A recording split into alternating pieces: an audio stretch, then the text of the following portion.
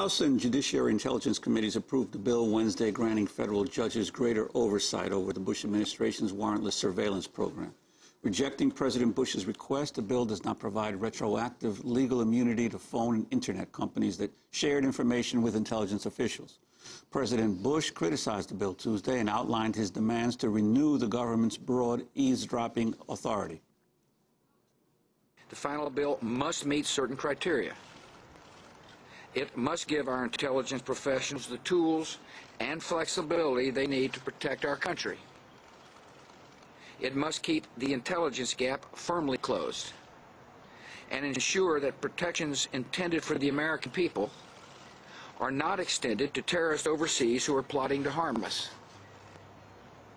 And it must grant liability protection to companies who are facing multi-billion dollar lawsuits only because they are believed to have assisted in the efforts to defend our nation following the 9-11 attacks.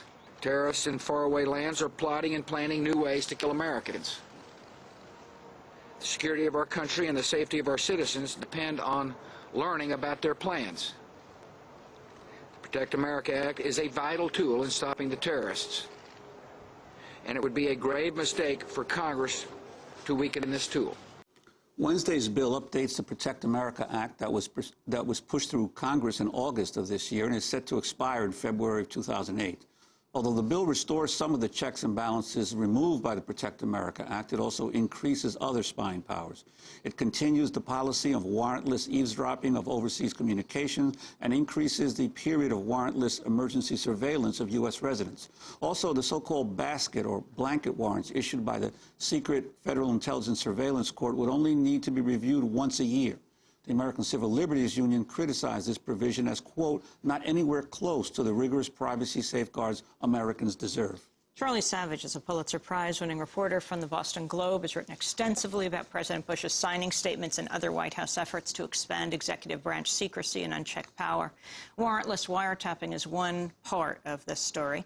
Charlie Savage has just published a book charting the means the Bush administration devised to circumvent laws and expand presidential authority. It's called Takeover, the return of the imperial presidency and the subversion of American democracy. Joining us now in our Firehouse studio, Charlie Savage welcome. Thanks for having me on. Charlie, you begin in a very dramatic way on September 11, 2001. Tell us about what Dick Cheney was doing.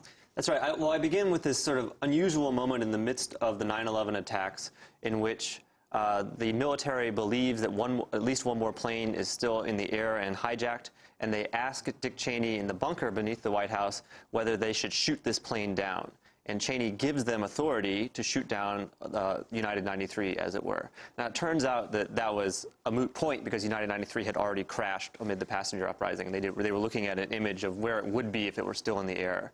Uh, but this shoot down order became the subject of an intense dispute with the 9-11 Commission because Cheney later told the Commission, and Bush agreed with him, that, that Bush had given Cheney prior authority as the commander-in-chief who actually commands the military to uh, take such an extraordinary step.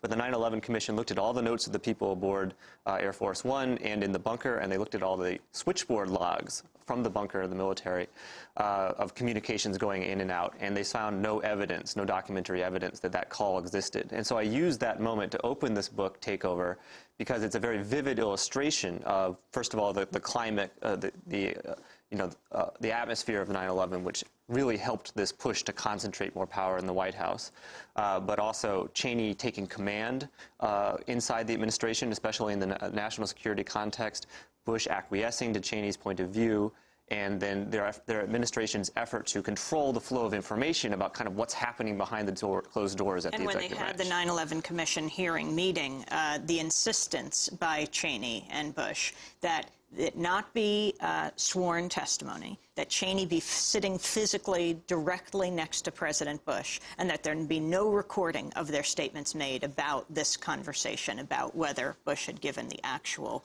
uh, uh, command or whether it was Cheney. That's, that's right. You know, and of course, it, it is it's a moot point. The planes were down. It doesn't really matter that much. But it's a vivid way of illustrating Cheney's role in the administration and therefore getting into the topic of what Cheney used that influence to do. And one of the most important things and one of the most uh, successfully implemented policies of this administration, one that they never talk about and that I think has received uh, scant attention, depending, just depending on how sweeping it is and how successfully they pulled it off, was that he had wanted, when they arrived in office long before 9 11, to use that time in office to reshape American democracy by concentrating more power in the White House, by expanding presidential power, by throwing off checks and balances. This was an agenda that he had with him dating back 30 years to his time in the White House as Chief of Staff to Gerald Ford in that period after Watergate in Vietnam when Congress was reimposing some checks and balances on the imperial presidency that had grown up during the early Cold War. And Cheney would spend the next 30 years trying to throw that off. Finally, as vice president, the most experienced vice president in history dealing with one of the least experienced presidents in history, he was in a position to shape this administration's practices and tactics as it went forward, now pushing into eight years, in order to take actions and set precedents across a huge range of, of issues and ways that were going to leave the presidency much stronger than it was when they arrived.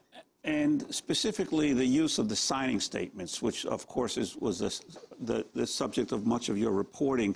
Uh, how did the signing statements uh, fit into this overall uh, policy? The signing statements are one tactic among many, but it's just it's an illustration of how much more aggressive this administration has been than any that came before, and how it's kind of thrown off sort of unofficial constraints of, practices of restraint. A signing statement is an official legal document the president issues on the day he signs a bill into law. It consists of instructions to the, his subordinates in the executive branch about how they are to implement the new laws created by a bill. And uh, it becomes controversial when the president says, you will interpret Section 103 as being unconstitutional, because I alone have said it's unconstitutional, and you do what I tell you. And if it's unconstitutional, that means you don't need to enforce it. And where that becomes very controversial is when Section 103 is a check or a balance on the president's own power because then not enforcing that law means not having to obey that law. Now, previous presidents have occasionally used signing statements like this, but President Bush has, issued, has challenged more laws than all previous presidents in American history combined using signing statements. A dramatic escalation of this tactic and what the American Bar Association has said is evolving into kind of a backdoor override proof line item veto power, which can really prevent Congress from ever again imposing any new checks on presidential power. Uh, it's just, but it's an extraordinary thing, an extraordinary development in our constitutional law, and yet it's just one of many, many different tactics the administration has used to concentrate more unchecked power in the White House. Talk about wiretapping, the controversy now, the frustration that people have with the Democrats, supposedly the opposition party, going along with the Republicans. Right. Well, the, the background is that after 9/11, as we all know now, Bush uh, approved, gave, gave, the military the authority to wiretap phone calls without warrants in defiance of a 1978 law that required warrants for that situation. And he used a very aggressive legal theory about the president's powers as commander in chief to bypass laws at his own discretion. Uh, because that program was only legal if that theory were true, that meant that the fact that they did this set a precedent that says that theory is true, and future presidents will be able to cite that precedent when they want to evade any other law that restricts their own authority. Uh, so now going forward, you know, one of, one of the ways this this agenda has been able to be so successfully implemented was that there was no resistance from, from Congress. At the very moment, there was this stronger push coming out of the vice president's office to expand presidential power as an end to itself in any way possible because of one party rule for six years and because of the atmosphere of crisis of 9 11, there was no pushback. And that's how the, the ball was moved so far down the field. And one of the things that's been very interesting about the last year is now we have split control of government again. And so the question was, how is that going to change things? And what we've seen from the Protect America Act in August and the dynamic going forward is that even with split control of government, the dynamic is still there. Congress is just as it was for the first 20 or 30 years of the Cold War, when the original imperial presidency was growing under, under presidents of both parties, by the way. Congress is, again, unwilling to push back against the, the White House's assertion that it needs ever more authority and checks and balances will result in bloodshed.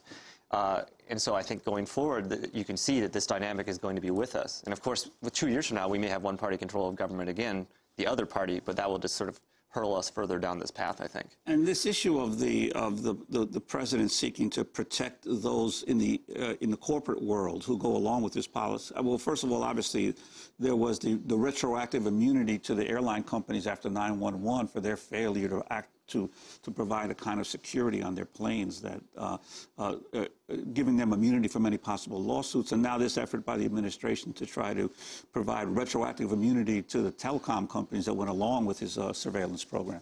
Well, I mean, what, what this is be, is because Congress has demonstrated that it it's really not going to uh, do anything about the basic fact that the president asserted he could bypass a law, and then he acted on that assertion, and you know that established he can do that, or whoever else is president in any given moment from now on can do that. The, the one sort of last place where critics of this sort of extraordinary development uh, it could still had some traction was the, the lawsuits against the companies, which had also evidently uh, uh, broken privacy laws by going along with this. But so this is by seeking retroactive immunity, it's sort of the last place of closing off uh, the possibility of accountability. And accountability for how people use their power is one of the uh, great ways in which the administration has successfully expanded their